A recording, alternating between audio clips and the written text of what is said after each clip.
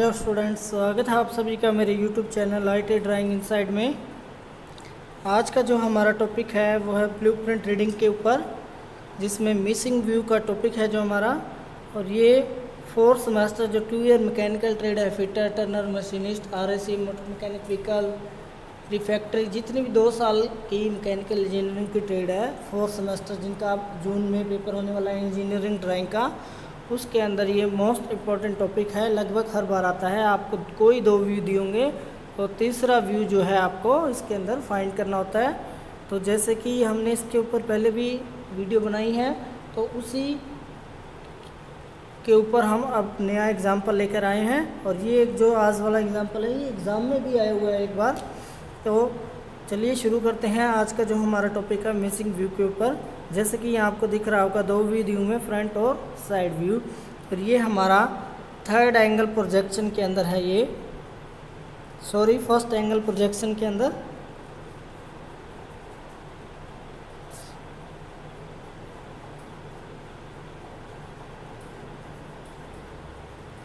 First angle projection के अंदर दिया हुआ है आपको।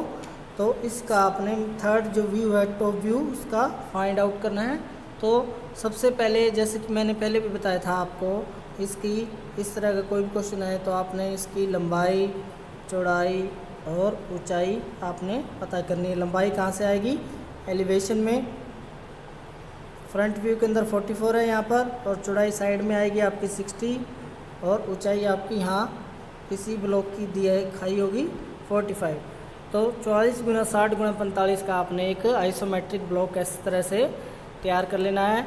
उसके बाद आपने, जैसे यहाँ मैं कह रहा हूँ फ़र्स्ट एंगल प्रोजेक्शन मेंशन किया हुआ क्वेश्चन में तो आपने ये आपको ध्यान रखना है कि फ़र्स्ट एंगल में लेफ़्ट वाला व्यू राइट में बनता है राइट वाला लेफ़्ट में बनता है। तो इसका खास ध्यान रखना है। तो यहाँ पर हमारे राइट व्यू बनाया हुआ है, लेकिन जब आइसोमेट्रिक में क्वेश्चन में होगा तो ये आपका रहेगा लेफ़्ट साइड के अंदर। तो ये आपका साइड होगी और फ्रंट आपका यहाँ हो जाएगा। ये ध्यान रखना इस चीज़ का फ़र्स्ट एंगल में। थर्ड एंगल में कोई चेंज नहीं होता लेफ़्ट वाला लेफ़्ट में राइट वाला राइट में। लेकिन फ़र्स्ट एंगल में चेंज है। यहाँ राइट व्यू दिया हुआ है, लेकिन ओरिजिनल इसका लेफ़्ट व्यू हमें बनाना होगा। तो लेफ़्ट में ये आपकी साइड हो जाएगी और ये आपका फ्रंट हो जाएगा।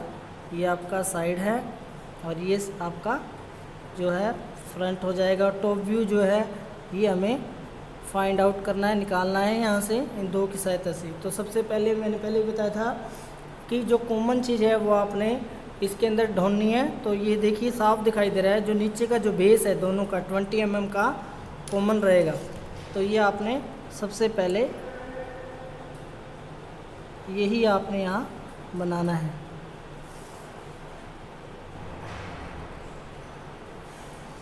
तो ये आप यहाँ सीधा बना लेंगे सेट स्क्वेयर की सहायता से भी बना सकते हैं आप। तो हम सेट स्क्वेयर ले लेंगे।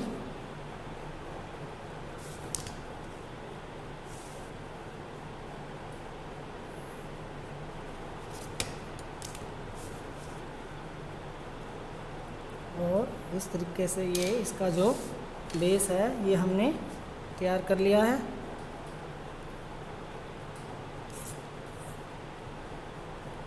उसके बाद देखिए, जब साइड से देखते हैं तो इस तरह की आकृति दिखाई दे रही है हमें। और तो इस तरह से आपने बेस तैयार कर लेना है। उसके बाद यहाँ देखिए साइड में ये इस तरह की आकृति बनी हुई है। और जबकि फ्रंट में ये इतनी दूरी छोड़कर ये दो स्टेप दिखाई दे रहे हैं। तो आपने पहले जो ये स्टेप दिख रहा है, ये क्या इतनी जगह खाली है तो इसका निशान लगा लेंगे हम। फ्रंट में कितना ये? चौवालीस में से बत्तीस घटाएँगे। तो ये आपका बारह बज जाएगा। तो यहाँ से ये बारह पर हमने एक लाइन ऐसे खींच दी। इसी तरह फ्रंट में भी इतना गैप खाली रहेगा तो इसकी भी हमने यहाँ से पंद्रह का है ये गैप तो ये खाली कर दिया है। तो इसका आपने यहाँ बॉक्स तैयार करना है।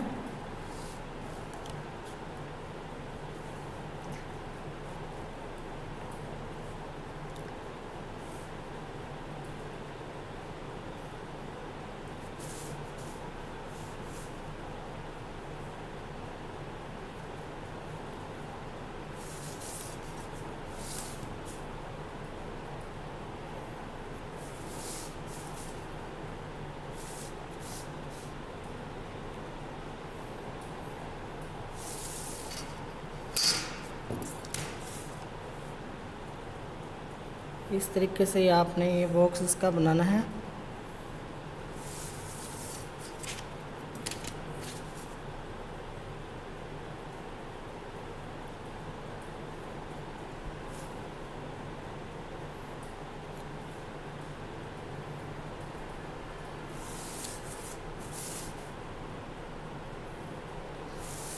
तरीके से आपने ये बॉक्स तैयार करना है। और जो एक्स्ट्रा लाइंस हैं वो आपने यहाँ ट्रिम कर देनी है ताकि आपको अच्छे से दिखाई दे।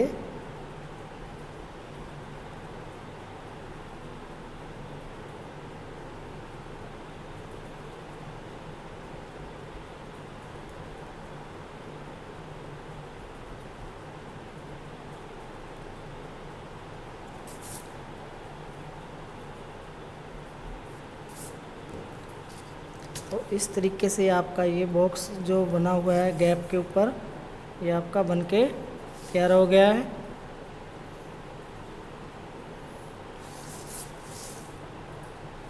अब जो आकृति की हम बात कर रहे थे, वो इसके ऊपर आपकी तैयार होगी। तो ये देखिए, यहाँ से 15 छोड़कर फिर आपका 15 एम mm आपने यहाँ डार्क करना है। यहाँ से 15 छोड़कर ये आपने जो अगला पंद्रह है, ये आपका इतना डार्क करना है। उसके बाद 90 डिग्री के नीचे आपने यहाँ एक सेंटीमीटर आना है।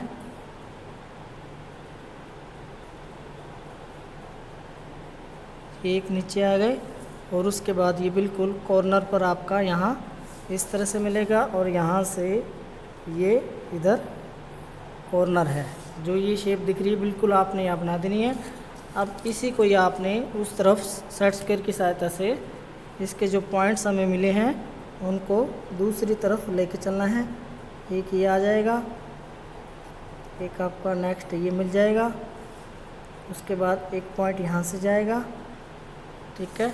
यहाँ से इसको हम 90 पर मिलाएँगे और इसको फिर हम फ्री हैंड यहाँ इनको आपस में मिला देंगे। तो ये आपका ऑब्जेक्ट जो है बनकर तैयार हो गया है।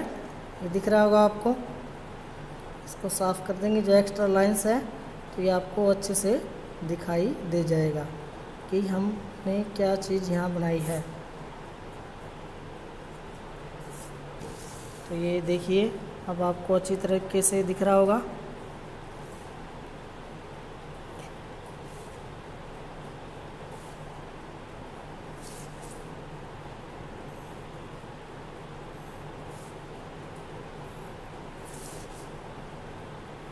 इसका जो ओरिजिनल व्यू है बनकर तैयार हो चुका है।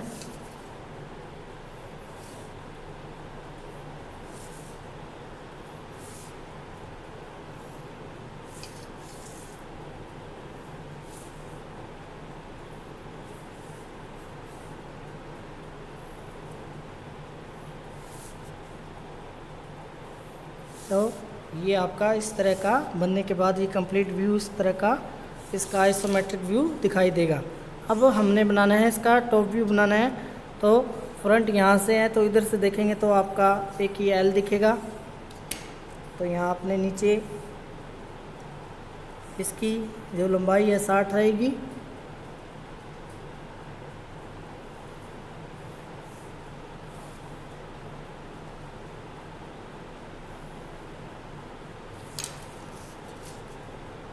यहाँ इसका ये बॉक्स तैयार हो गया है। अब यहाँ से ये कितना है आपका? जो हमने छोटा था पंद्रह। यहाँ से आप पंद्रह ले लीजिए। और ये आपका है अंदर बत्तीस। तो यहाँ से आपने चलना है।